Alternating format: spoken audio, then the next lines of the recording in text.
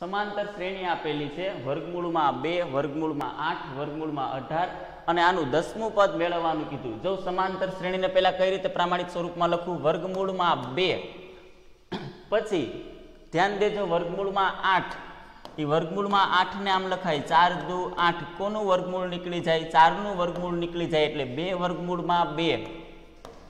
અલ્પ વિરામ વર્ગમૂળમાં અઢાર. એને કેમ લખાય? નવ, દુ, અઢાર. કોનું વર્ગમૂળ નીકળી જાય? નવનું. નવનું નીકળી જાય ત્રણ.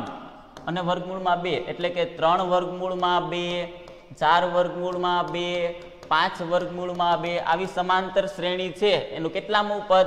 એન બરાબર દસમું પદ જોઈએ. તો સૂત્ર છે એન બરાબર a plus n minus one into d. એનમું પદ મેળવવાનું સૂત્ર? એન બરાબર a plus n. Minus one into d a એટલે પ્રથમ પદ, વર્ગમૂળમાં બે પ્લસ એનની જગ્યાએ દસ માઇનસ એક.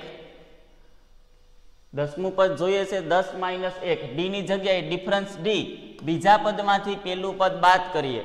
બે વર્ગમૂળ બે માંથી એક વર્ગમૂળ બે જાય એટલે ખાલી વર્ગમૂળ બે.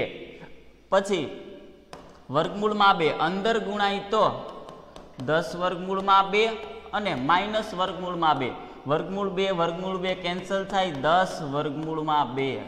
જો આનું દસમું પદ કયું આવ્યું, દસ વર્ગમૂળમાં બે.